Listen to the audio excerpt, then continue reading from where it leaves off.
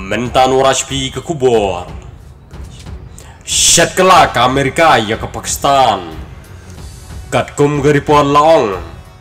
U Prime Minister ke Pakistan U Imran Khan. U layro iya ke Nelson Shah bertemai Afghanistan. Empat kata kedai ke Taliban. U Prime Minister ke Pakistan. U la warning ya kiri ke partai Balada kimiarab ya ke Taliban Klempep Afghanistan kan sekelalong ke Eden Joki Leno. Sengap ya kini jingkran Jong Imran Khan. Wong kumno If we neglect Afghanistan right now, there's a huge humanitarian crisis looming ahead. And this will have serious repercussions, not just for the neighbors of Afghanistan, but it will have repercussions everywhere if a destabilized, a chaotic Afghanistan again becomes a safe haven for international terrorists. The reason why the US came to, to Afghanistan in the first place. So, therefore, there is only one way to go. We must strengthen this current government, stabilize it for the sake of the people of Afghanistan. Lada mentangi kentat ya Afghanistan Kanom ketak tangi kiri pemarjan Henry Yabaro Kalkta Namar Kaugganistan kansa kelalong ke Eden Cuki Leno.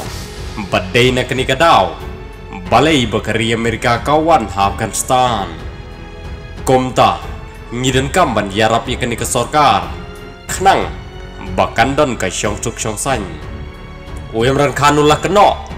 Bahkan Amerika ke Shikla ya ke Pakistan. Ula Ongru Hadin juga teman 9-11 attack. Ka Amerika bom itu ya ke Pakistan. The current situation in Afghanistan, for some reason, Pakistan has been blamed for the turn of events by politicians in the United States and some politicians in Europe. From this platform, I want them all to know the country that suffered the most, apart from Afghanistan, was Pakistan when we join the US war on terror after 9-11. Haka baya day bat ke jirong Jerman Afghanistan. Lasya kena balik dah ke Pakistan. Bat dia kan ila kedukti. Daki politician di US. Bat na Europe. Ulaong ru. Kari ke basya jenjartam. tam. Ladno na ke Afghanistan.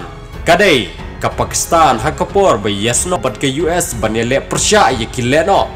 Hadian jokan 9-11 attack. Public Bun.